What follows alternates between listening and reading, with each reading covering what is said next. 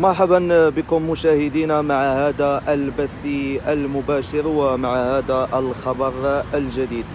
كشفت دراسة حديثة للمندوبية السامية للتخطيط أن الفقر والبطالة أو الأوضاع الاقتصادية تعد دافعا قويا لهجرة المغاربة نحو الخارج خاصة الشباب والعاطلين حيث يعد الشباب الأكثر تفكيرا في الهجرة صوب الخارج مقارنة بالمتقدمين في السن.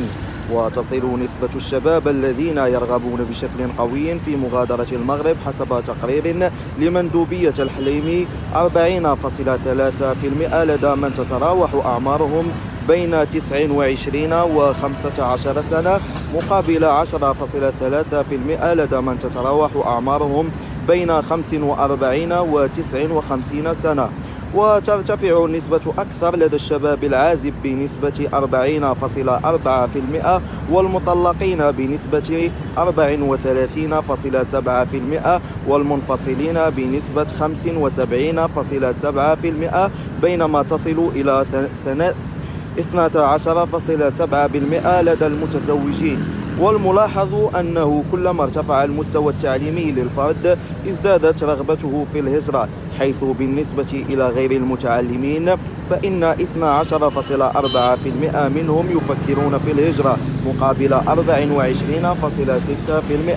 ممن ممن يتوفرون على الشهادة الابتدائية و30.5% بالنسبة إلى الذين يتوفروا أو بالنسبة إلى الذين يتوفرون على مستوى التعليم الثانوي مقابل 20.7% للتعليم العالي بينما ترتفع بشكل كبير لدى من يتوفرون على مؤهل وتكوين مهني بنسبة 40.6% وترتفع رغبة الهجرة أكثر لدى العاطلين حيث يفكر 50.9% منهم في الهجرة صوب الخارج.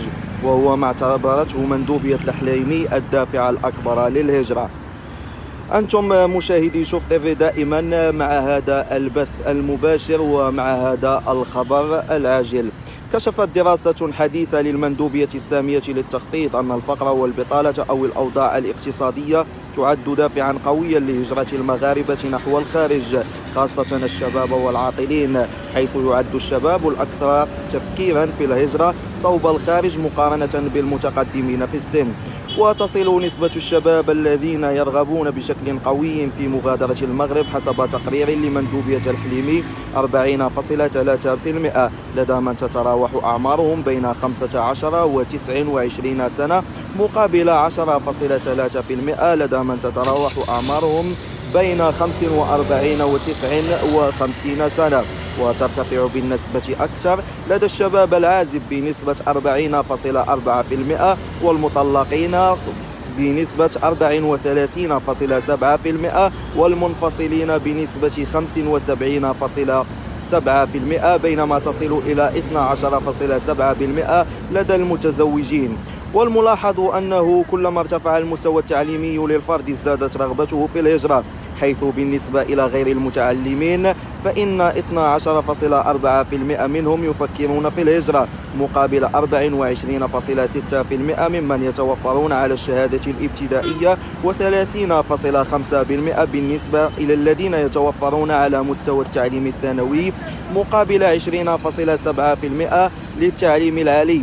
بينما ترتفع بشكل كبير لدى من يتوفرون على مؤهل وتكوين مهني بنسبة 40.6% وترتفع رغبة الهجرة أكثر لدى العاطلين حيث يفكر 50.9% منهم في الهجرة صوب الخارج وهو ما اعتبرته مندوبية الحليمي الدافع الأكبر للهجرة. إذا مشاهدينا كنتم مع هذا البث المباشر. الذي أطلعناكم من خلاله على هذا الخبر. نلتقي معكم في بث مباشر جديد وإلى اللقاء.